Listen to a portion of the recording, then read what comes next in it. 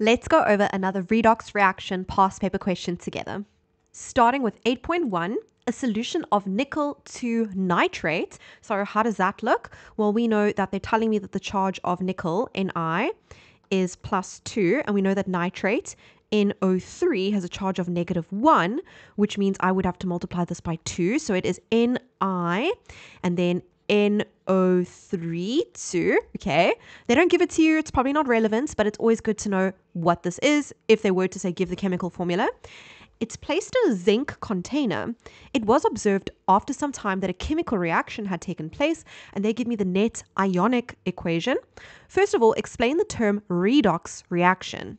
Here's our answer. A redox reaction is a reaction that involves an electron transfer. Just for a quick recap, remember it's oil rig.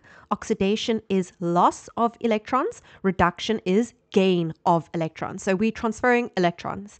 Which one of Zn or Ni plus is the oxidizing agent? Explain the answer by referring to oxidation numbers. So I was going to say that there's a few ways for us to figure this out, but the easiest is to use oxidation numbers, and they want us to use oxidation numbers. So let's do that. As you should be able to recall from my previous videos, when we assign oxidation numbers and our element is standing all by itself, even if it's diatomic, it is an oxidation number of zero. So Zn would be zero and Ni, nickel, would be zero, the oxidation number. And then if we have a charged element, like here, an ion, the oxidation number is equivalent to the charge. So plus two for the nickel ion and plus two as well for the zinc ion. Then what we would do is we would look at zinc on the left hand side compared to zinc on the right hand side. What happened to the oxidation number? It went from zero to plus two. So for zinc, the oxidation number increased. That means that zinc is oxidized. There's been an increase in oxidation number from zero to plus two.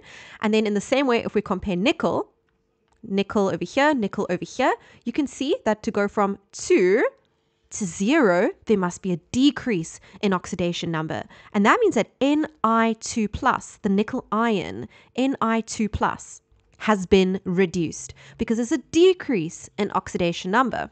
So our question asked which one is the oxidizing agent. Remember, if you are reduced, you are the oxidizing agent. So the answer is Ni2 plus. Zn has been oxidized, so it's the reducing agent. So who's the oxidizing agent?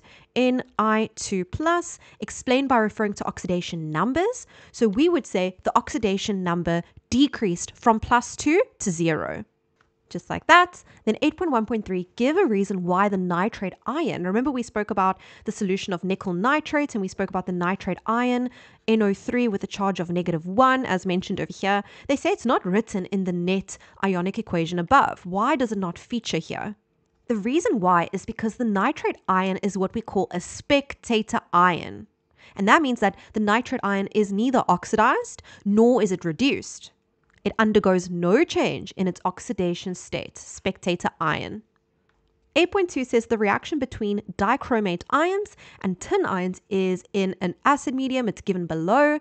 Determine the oxidation number of Cr and Cr2O72 minus. Now, I've done this exact question in my previous redox video, so please go watch that video if you want to see how I did this. I'll link it down in the description box below. It's a copy paste of that exact question, so go check it out over there. Then they say write down the reduction half reaction. Here's my equation. In order to figure out what the reduction half reaction is, I first need to identify what is the oxidation half reaction, what is the reduction half reaction, and I need to do that by looking at what I have in this formula over here. Now, by how do I do this? I need to pair things up in the formula. So the quickest thing that I see if I look at this is that SN2 plus, I'm going to highlight that, that looks like it becomes SN4 plus. Those substances looks, they look like I can link them together. We're going to confirm by checking the table to see if I'm correct or incorrect. The other two that look like I can pair them up is CR2O72 minus and CR 3 plus. They've both got chromium in them, and I've actually used these two in a previous video in the half reaction before. I know exactly what half reaction that is on the table. I know I've got H pluses and H2Os over here. My guess is that they're going to feature in this half reaction, but this is where we need to go look at our table 4B. So if we take a look at table 4B, as you can see here, table 4b, standard reductions potential, and we look for the two reactions that I've highlighted from what was given. Remember, we're looking for one reaction that has SN2 plus on one side and SN4 plus on the other side. Not necessarily that one on the left and that one on the right, but one on either side of the arrow.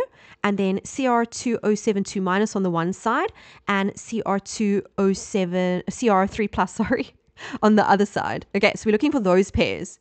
So I see the first pair over here. There's SN2 plus and SN4 plus, a reaction with those on either side. And if you keep looking on your table, keep scrolling down, you will find the other half reaction that we were speaking about. CR2O72 minus on the one side and CR3 plus on the other side. So we found both of our half reactions. Then as we've discussed in previous videos, there's the two. The reaction that sits on top the one that is higher up on the table, because of the arrow in our table 4b, increasing strength of reducing agents. Remember, this is if you use table 4b.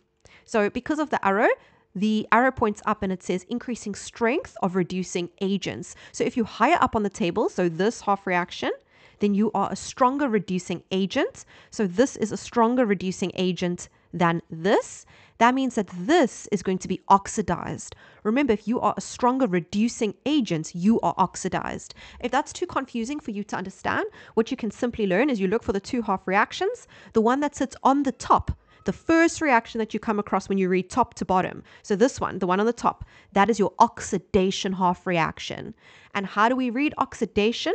Always from right to left, as discussed in previous videos. So, my question wanted me to find the reduction half reaction. So basically, it's not it's not the one that I just found. The next one would be my reduction half reaction. The one that's lower down. This one. This is my reduction half reaction. And we always write that down from left to right. So we write it down as it appears on the page, Cr2O7 to minus plus 14H plus plus 6E minus just a single arrow pointing to the right, not a double arrow, 2CR3 plus plus 7H2O. My next question wants the balanced net ionic equation using the table. So, like I said, when using the table, we need to identify the half reactions. So I've already identified the reduction half reaction and I've written it out. Go back to the table. So the one lower down that was my reduction half reaction, this one, which I already wrote down. Then we scroll up. The first reaction that we come across, so the one that I've circled over here, is my oxidation half reaction, and I write it down backwards. So, in other words, we write down the SN2 plus first, SN2 plus, then we draw an arrow, and then we write down SN4 plus, plus 2E minus. Also, if you get confused with regards to which way to write down these half reactions, so do I write them down backwards or do I write them down normally from left to right? Look at the original question. The original question had the 2 plus on the left and the 4 plus on the right. So when I write it down, the 2 plus must be on the left and the 4 plus must be on the right, just like it says over here. You can't write it down like it says on the table with the 4 plus on the left and the 2 plus on the right because that's backwards. I hope that makes sense. Now, my next step before I write down the balanced net ionic equation is I need to balance the electrons. So in this equation, I've got two electrons, and here I've got six. So what I'm going to have to do is I'm going to have to multiply this by three. I'm also going to have to multiply this by three and this by three. The reason why is because I need to make this number here a 6, but what I do to the one thing, I have to do to all the other things. So this is going to become 3 SN2 plus 3 SN 4 plus, and 6 E minus. So now I'm not looking at the original anymore. Now what I do is I can cancel the electrons. You see how I keep the arrows lined up with each other? This is just helpful so I can see what needs to be on the left-hand side and what needs to be on the right-hand side. So I've cancelled the electrons, we've balanced it. Then everything on the left-hand side, you rewrite on the left-hand side. And everything on the right-hand side, you rewrite on the right-hand side. There we go.